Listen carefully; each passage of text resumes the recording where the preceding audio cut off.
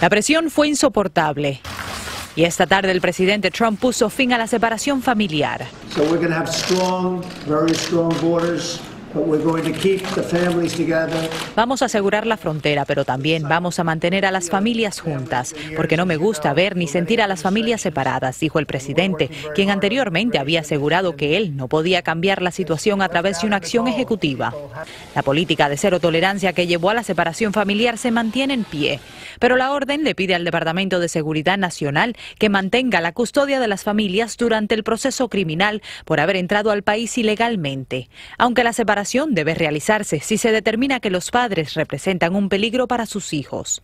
El fiscal general Jeff Sessions tendrá que hacer una solicitud a la Corte del Distrito Central de California para que modifique una orden judicial que solo permite la detención de familias durante 20 días porque ahora la detención es indefinida y el gobierno no sabe cuán pronto podrá reunificar a padres e hijos que ya han sido separados.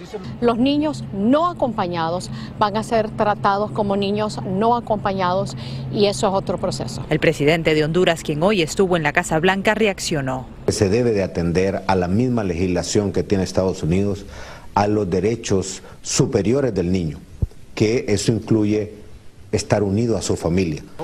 La presión fue internacional y nacional. Muchos republicanos e incluso Melania e Ivanka Trump ejercieron presión sobre el mandatario. Las aerolíneas American, United y Frontier hoy también se negaron a transportar a niños que habían sido separados de sus familias. En el Congreso se espera un voto mañana sobre medidas republicanas que también mantienen a las familias detenidas pero juntas y que ofrecen protección a los Dreamers. Los demócratas se oponen porque la medida también ofrece dinero para el muro, no incluye protección para familiares de Dreamers y reduce la inmigración legal. Nosotros no estamos aquí para negarle a una parte de nuestra comunidad inmigrante justicia, para darle un poquito de justicia a otro. ¿Es para todo o no es para nadie. La detención indefinida de familias que ahora crea esta orden ejecutiva sin duda alguna tendrá repercusiones legales y este gobierno espera que el Congreso encuentre una solución permanente antes de tener que pelear esta decisión en corte. En la Casa Blanca, Janet Rodríguez, Univisión.